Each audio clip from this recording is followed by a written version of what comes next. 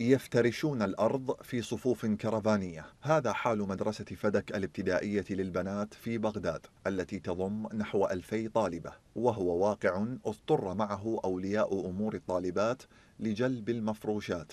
كما تفتقر هذه المدرسة لدورات المياه الصحية.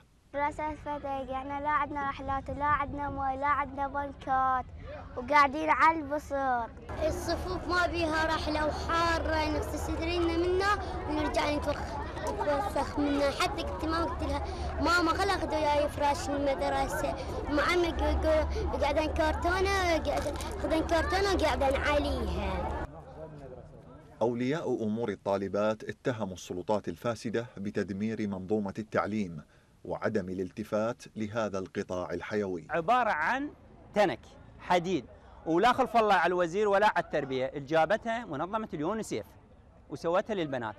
الأستاذ الوزير اللي ها واللي قبله خلف الله عليهم اشتغلوا وأنجزوا خوش شغل فلشوا المدرسة بعشرة أيام وبنيانها صار من 2007 ولحد الآن من مبنية. 80 طالبة أو 85 طالبة بالصف.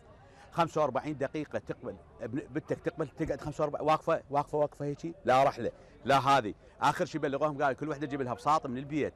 زين رحمة الوالدة إحنا بسط مدرسة ننام شلون مثلا؟ شلون يعني؟ ما دمر العراق ودمر مدارسنا ودمر وضعيتنا غير الأحزاب.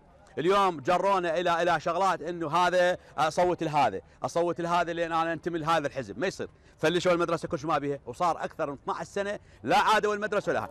في بلد مثل العراق لا يخصص لقطاع التعليم أكثر من 2% من الموازنة المالية العامة كل عام. في وقت يحتاج البلد إلى أكثر من 1800 مدرسة بتجهيزات متكاملة وفقا لتقارير منظمة الأمم المتحدة بينما تغرق أحزاب السلطة بالصراع على المناصب وتقاسم المال العام.